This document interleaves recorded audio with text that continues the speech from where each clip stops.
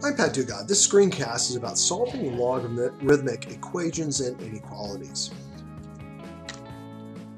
To do that, we're going to use a couple of properties. Um, the property of equality for logarithmic functions is that as long as the b, the base, is other than 1 and is a positive number, then the log base b of x equals the log base b of y if and only if x equals y. And this is very analogous to the exponential property of equality.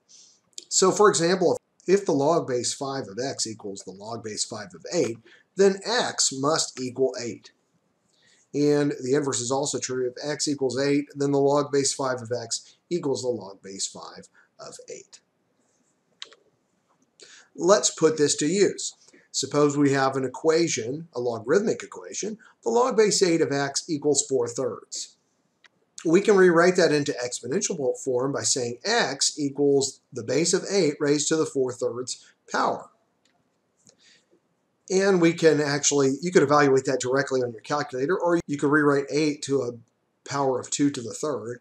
And so 2 to the third to the 4 thirds will be 2 to the 3 times 4 over 3, 2 to the 4th, or 16. Again, you could actually go directly from x equals 8 to the 4 thirds to 16 on your calculator. If we're going to try to find the solution to log base 4 of x squared equals log base 4 of negative 6 minus 8.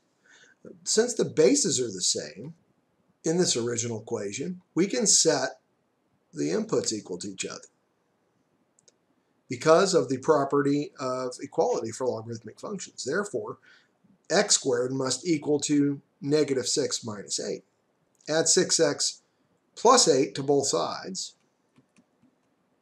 we wind up with a quadratic.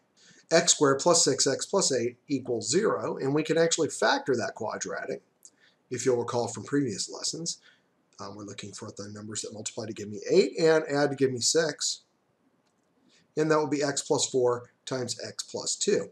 Therefore, the solutions to this, using the zero product property, are x plus 4 equals 0, and x plus 2 equals 0, which leads us to x equals negative 4 and x equals negative 2. And if you input those both into the original logarithmic equation, you would find that both of those are true. So we have a similar property of inequality for logarithmic functions, just like we had a property of inequality for exponential functions. Now, if the base is greater than 1 and x is positive, in the first case, if the log base b of x is greater than y, then x has to be greater than b to the y. And that's just rewriting that into exponential form. If the base is greater than 1 and x is positive and the log base b of x is less than y, then that's going to tell us that x has to be between 0 and b to the y. Let's solve a logarithmic inequality. Solving the log base 6 of x is greater than 3. Our base is 6.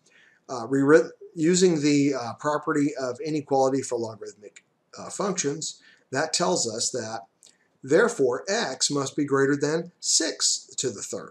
And that's really kind of just rewriting an exponential form. So simplifying 6 to the third is 216, x must be greater than 216 for this inequality to be true. Now, if we have logarithms on each side, we certainly have to make sure they have the same base. So if we have the log base 7 of 2x plus 8 is greater than the log base 7 of x plus 5, using the property for inequalities for logarithmic functions, operation has to apply for the input. So therefore, 2x plus 8 must be greater than x plus 5.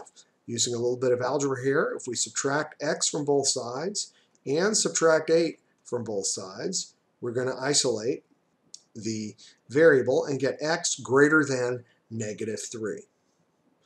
And in fact, that is our solution. All x's greater than negative 3 will make this original inequality a true statement.